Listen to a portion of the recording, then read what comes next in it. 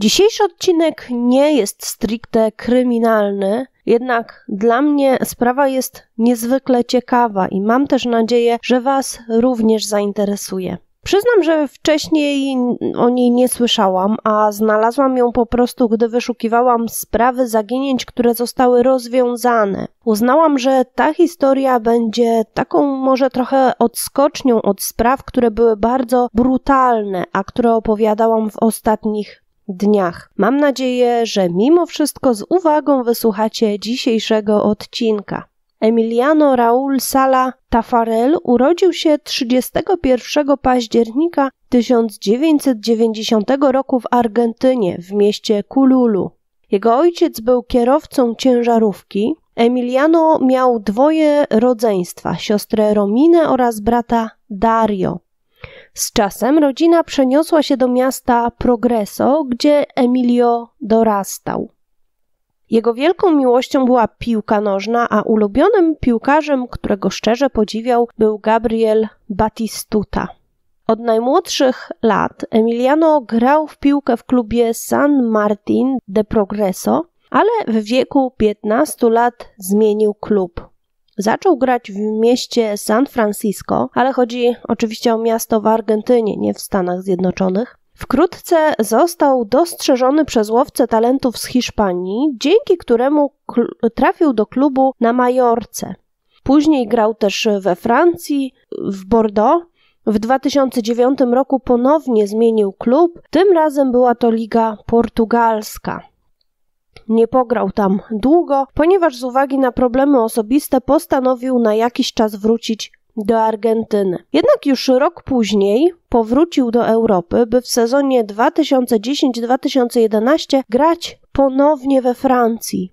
I z uwagi na to, że piłkarz uznał, że nie jest doceniany, gdyż zazwyczaj siedział na ławce rezerwowych, to postanowił spróbować swoich sił we Włoszech. Jednak niestety żaden z tamtejszych klubów nie zdecydował się go kupić. W 2014 roku Sala trafił do pierwszego składu na stałe we Francji w klubie Nantes i w kolejnych latach odnosił sukcesy 19 stycznia 2019 roku piłkarz podpisał 3,5-letni kontrakt z walijską drużyną Cardiff City. Za piłkarza klub miał zapłacić 15 milionów funtów, co było rekordem w historii tego klubu. Nigdy nie zapłacili tak wysokiej kwoty za żadnego gracza. Tego samego dnia, gdy podpisał kontrakt, w sobotę 19 stycznia 2019 roku, Sala poleciał do Francji. Miał wrócić do Cardiff przed swoim pierwszym treningiem, który miał się odbyć dwa dni później, czyli w poniedziałek 21 stycznia. We Francji miał, miał się spotkać z kolegami z drużyny, chciał się z nimi pożegnać, miał zamiar również zabrać jeszcze jakieś ostatnie swoje rzeczy. Sala jednak Nigdy nie powrócił do Cardiff, zaginął i wszyscy stracili z nim kontakt po tym, jak wziął udział w spotkaniu z kolegami. Bardzo szybko potwierdzono, że wieczorem w niedzielę piłkarz wsiadł na pokład prywatnego samolotu, tego samego, którym e, przyleciał wcześniej do Francji i nie wiadomo było, co stało się z samolotem i rozpoczęły się poszukiwania piłkarza oraz pilota. Sprawdzono, czy Sala komunikował się z kimkolwiek po wylocie z Francji i okazało się, że za pośrednictwem WhatsAppa napisał do swoich kolegów następującą wiadomość. Cześć chłopaki, co słychać? Ale jestem zmęczony. Byłem w Nantes. Zająłem się wieloma rzeczami. To się chyba nigdy nie skończy. Jestem właśnie na pokładzie samolotu, który wygląda tak, jakby za chwilę miał się rozpaść na kawałki. Lecę do Cardiff. To takie szalone, że zaczynamy już jutro. Trenuję jutro w mojej nowej drużynie, ale jeśli w ciągu półtorej godziny nie dostaniecie ode mnie wiadomości, to nie wiem, czy będzie sens, żeby wysłać kogoś, by mnie znalazł. Zaczynam się bać. Przez kolejne trzy dni przeszukano 4,5 tysiąca kilometrów kwadratowych w okolicy kanału La Manche. 24 stycznia 2019 roku o godzinie 15.15 .15 odwołano dalsze poszukiwania. Opinia publiczna naciskała, aby jednak te poszukiwania były kontynuowane. Na poszukiwania naciskali również znani piłkarze, chociażby Lionel Messi czy Diego Maradona. Swoje stanowisko w tej sprawie wygłosił również prezydent Argentyny, a w internecie pod petycją o dalsze poszukiwania podpisało się ponad 65 tysięcy osób. Założono zbiórkę na ten cel i zebrano 280 tysięcy funtów na opłacenie prywatnych poszukiwań. 30 stycznia znaleziono dwie poduszki powietrzne na francuskim wybrzeżu. Prawdopodobnie pochodziły z samolotu, którym leciał piłkarz. 3 lutego rozpoczęły się podwodne poszukiwania prowadzone przez nurków. I tego dnia, a w zasadzie wieczorem po godzinie 21, zauważono wrak samolotu na głębokości 63 metrów. Następnego dnia ogłoszono, że co najmniej jedno ciało znajduje się w jego wnętrzu. 7 lutego udało się wydostać ciało z wraku i na podstawie śladów daktyloskopijnych stwierdzono, że jest to piłkarz Emiliano Sala. Przyczyną śmierci piłkarza były urazy głowy i tułowia. Jego ciało zostało przetransportowane do Argentyny, gdzie odbył się jego pogrzeb. 29 kwietnia policjanci aresztowali dwie osoby, które opublikowały na Twitterze pośmiertne fotografie Emiliano. Ja widziałam jedno zdjęcie, jest, ono znajduje się na Reddicie. Nie będę wstawiać żadnych linków, bo bardzo łatwo można je znaleźć, ale ostrzegam, widok jest no, przerażający. Badania narządów wewnętrznych, w tym płuc, wykazały, że w ciele sali znajdował się bardzo wysoki poziom dwutlenku węgla i prawdopodobnie pochodził on z samolotu. Jeśli ulatniał się w trakcie lotu, to mógł doprowadzić do senności piłkarza oraz pilota, co mogło ograniczyć jego e, zdolność pilotowania i być przyczyną tej tragedii. 19 czerwca 2019 roku aresztowano Davida Hendersona pod zarzutem nieumyślnego spowodowania śmierci piłkarza. Mężczyzna ten, co prawda, nie pilotował wówczas e, tamtego samolotu, samolotu ale to on zorganizował cały przelot, przelot był pośrednikiem i początkowo to on miał usiąść za sterami samolotu. Niemal rok później ogłoszono, że nie zostanie wszczęte wobec niego postępowanie w sprawie śmierci y, piłkarza. Po tragicznym wypadku na całym świecie rozpoczęła się medialna burza na temat tego, kto powinien zapewnić zawodnikowi przelot w takiej sytuacji, i większość głosów była za tym, że klub, który go kupił za ogromną sumę, powinien też zadbać o swojego najdroższego zawodnika.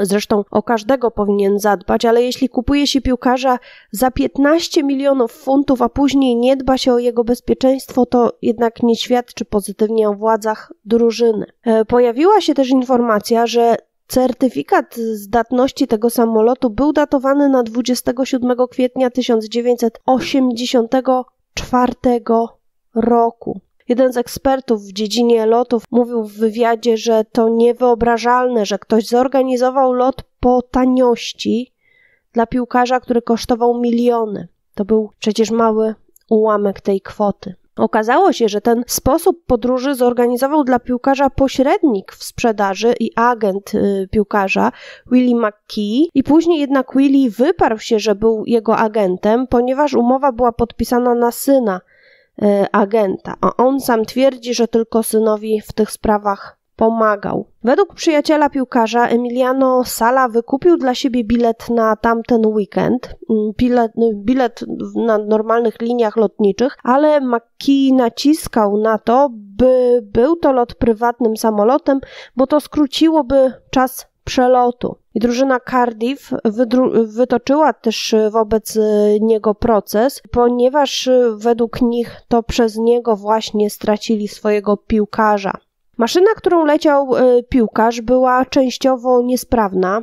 Ponadto pilot cierpiał na daltonizm, nie posiadał odpowiedniej licencji, miał tylko zezwolenie na loty prywatne w ciągu dnia. Mógł sam latać, a nie przewozić ludzi w ramach jakichś zleceń, e, a już tym bardziej nie w lotach międzynarodowych. Ponadto przed lotem otrzymał opłatę, czyli świadczy to o tym, że był to lot komercyjny, a na loty komercyjne nie posiadał licencji. Ponadto dużym błędem był też brak drugiego pilota, a jego obecność mogła mieć duży wpływ na przebieg sytuacji. Według ekspertów tej tragedii można było uniknąć. Być może wystarczyłoby poczekać z wylotem do rana, jednak McKee uważał, że sala musi pojawić się na poniedziałkowym treningu, a gdyby wyleciał rano, to mógłby się spóźnić. Eksperci uznali również, że maszyna leciała ze zbyt dużą prędkością, niedostosowaną ani do warunków technicznych samolotu, ani do warunków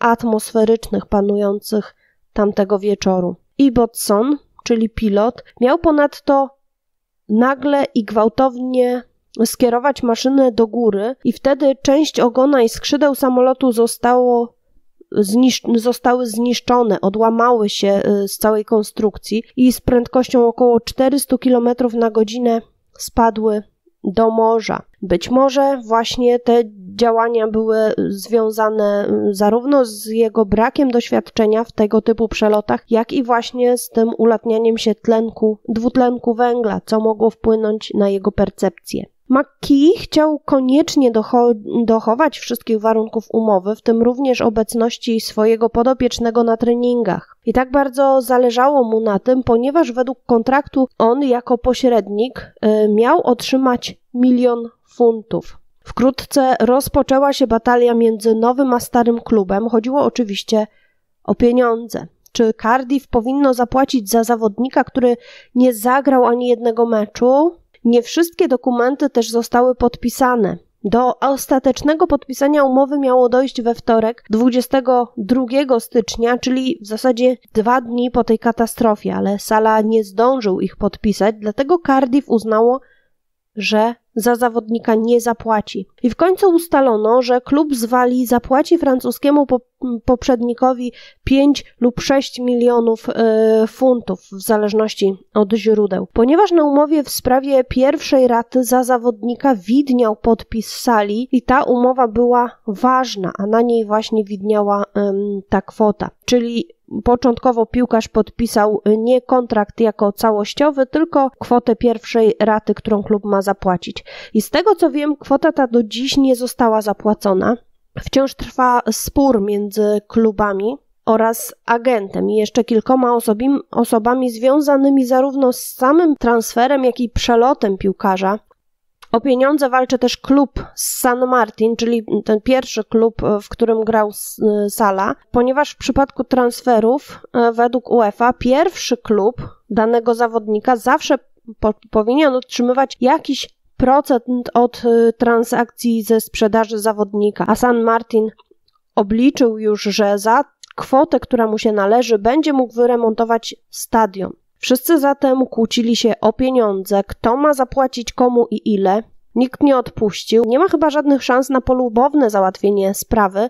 I jest to bardzo przykre, że w całej tej sytuacji właściwie zapomniano o samym piłkarzu, który zresztą przed podpisaniem kontraktu żalił się swojej rodzinie i przyjaciołom, że nie chce wyjeżdżać do Walii. Chciał pozostać we Francji, ale do przenosin zmusił go prezes Nantes, ponieważ otrzymał bardzo dobrą propozycję finansową za sportowca. Zatem wszystko rozbiło się wyłącznie o pieniądze. I do dziś nie odnaleziono ciała pilota, a ta tragedia poniosła za sobą kolejną, ponieważ trzy miesiące po katastrofie zmarł nagle ojciec Emiliano Sali, który po tym jak dowiedział się o śmierci syna, bardzo podupadł na zdrowiu. Willie McKay, który naciskał salę na mm, przelot tamtego wieczoru, również bardzo mocno walczy o swoje pieniądze. Zagroził władzom klubu Cardiff, że wszystkich pozabija, jeśli nie zapłacą mu obiecanego miliona dolarów. I pod koniec 2020 roku w trakcie zeznań McKee nie przyznał się do winy ani w sprawie nacisków na piłkarza, ani w sprawie grożenia zarządowi klubu Cardiff. Proces ma być kontynuowany w tym roku. Ta sprawa wciąż nie znalazła swojego finału. Cały czas badane są różnego rodzaju wątki w tej sprawie. Nie wiadomo, jak to się skończy, kiedy się skończy i czy w ogóle się zakończy ta sprawa. Myślę, że to bardzo przykre, jak bardzo zapomniano po śmierci y, piłkarza właśnie o nim, jak zapomniano o tragedii jego rodziny, a skupiono się tylko i wyłącznie na kwestiach finansowych. Jest to naprawdę bardzo przykre. I to wszystko w tej sprawie. Dziękuję Wam bardzo za wysłuchanie kolejnego odcinka. Przypominam, że przed nami jeszcze dwa odcinki maratonu kryminalnego w sobotę i w niedzielę. Na następne odcinki oczywiście również zapraszam w marcu, ale z troszeczkę mniejszą częstotliwością. Dziękuję raz jeszcze za wysłuchanie. Trzymajcie się ciepło i uważajcie na siebie. Cześć!